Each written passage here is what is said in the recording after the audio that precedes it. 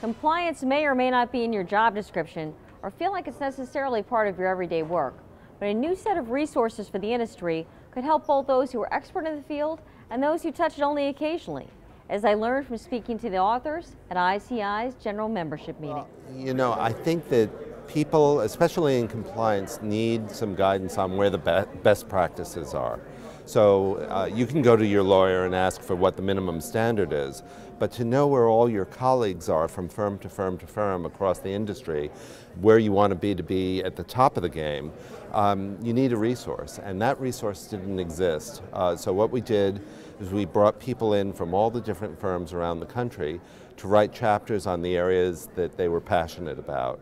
And in their writing, you could see, okay, here's the way that we should handle this at our firm, that at our firm, and people need a quick reference, and that's what the book is. Well, I think one of the things that makes the book really unique is, for example, people who wanted to write about fiduciary duty were people who worked all the time with investment advisors and they knew fiduciary duty inside out. But I think that the key thing is these were really thought leaders. Mm. These are people who had dedicated their life to the things they were writing about.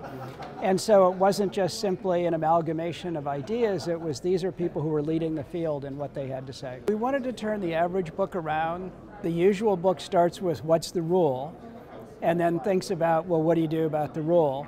Where we wanted to turn around and say, well, you're a compliance practitioner. What do you need to know to do your job, day in and day out? And then after you get through that, you say, and what are the specific rules I need to apply?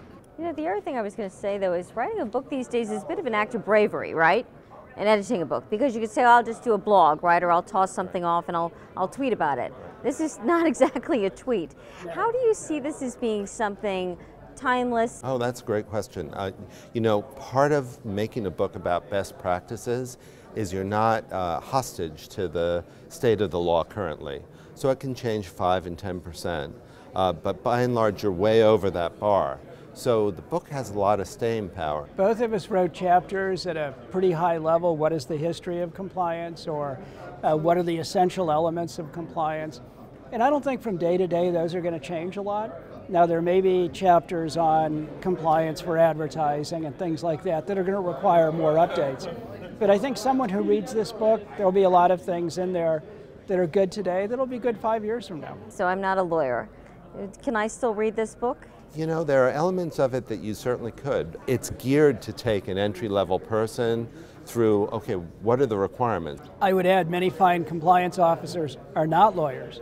And so the book reflects that, that these are people who understand what they need to do, but they don't necessarily have a law degree. So have at it.